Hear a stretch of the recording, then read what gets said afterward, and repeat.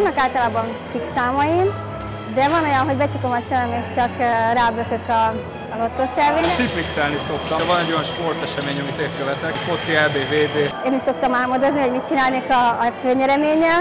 Hát van egy pár tervem, amit szeretnék beteljesíteni. Mindenféleképpen az álmom, hogy legyen egy saját házam itthon Magyarországon.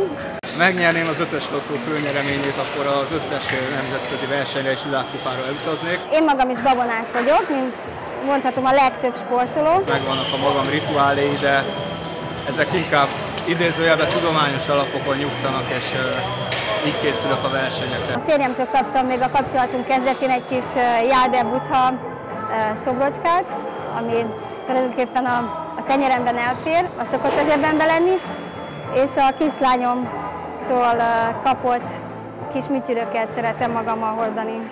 Pengetörés semmiképp nem illik kívánni, mert ez egyrészt nekem se jó, másrészt az ellenfélnek sem, mert van esetveszélyes egy ilyen törött penge. Hogy mit illik kívánni? Hát jó versenyzést, és azt, hogy azt a tudást, ami bennem van, az, az kijöjjön. Kéz- és lábtörést, és hogy nyerjem meg az ötös